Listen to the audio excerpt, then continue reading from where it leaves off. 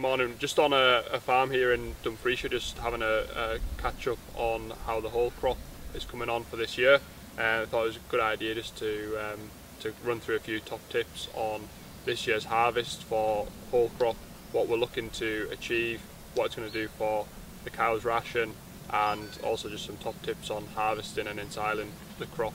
um, in, in probably what's looking like a week's time with this crop. So we've been following this um, late March sown spring barley the last few weeks and we're just in, in this field now looking at about a week away from harvest. There's still a wee bit of milkiness left in the grain um, but with the weather looking good for the next week or 10 days and some high temperatures this field will change quite rapidly um, and the advice would be for everyone just to keep a, a close eye on how crops are maturing over the next week um, and lining up contractors ready to go. Um, certainly for winter crops that'll be around about now and these spring crops are coming on really quite fast. Um, like I say, looking at the cow's ration, why we're growing whole crop and what we're trying to achieve. So um, we're looking at complementing the different grass silages that have been grown and harvested up to date and what else is to the pit. Uh, we're looking at a second forage type rather other than just grass silage to complement that ration for the cows. Uh, it's also got excellent flexibility for young stock and dry cow rations and if anyone's been harvesting some wetter silages the whole crop's in there to, to keep the ration nice and open uh, for the cattle as well um, and it also brings in a nice level of homegrown starch into that uh, ration for the cows. Um, in terms of harvesting, looking at some top tips, we've got um, a few plants here that, that's been grown in this crop um, and we're looking at, like I say, the grain maturing over the next week. Uh, one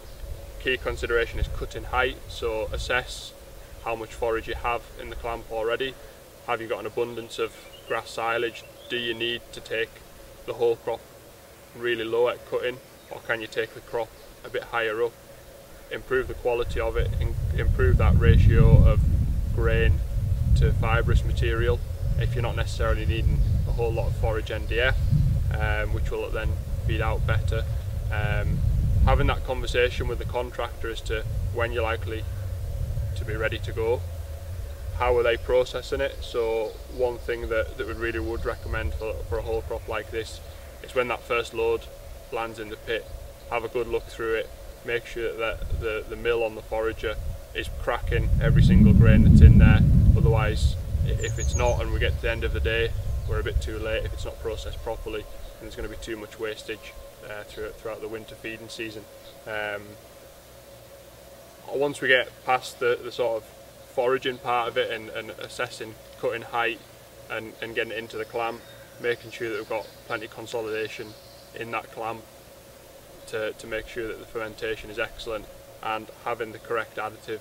on the crop is absolutely essential, especially in a whole crop type material. Um, where dry matters, typically I think we'll be looking for this crop at being harvested around 40 to 44% dry matter come next week.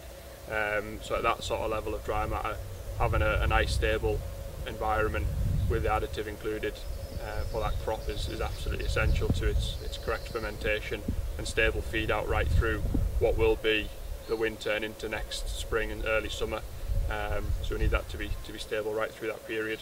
and then getting to the to the sort of all important end phase, sheeting up that whole crop really nicely, making sure there's absolutely no oxygen, getting access to that harvested crop, and then giving it some time to ferment, settle, and then getting it into the cow's ration as soon as possible.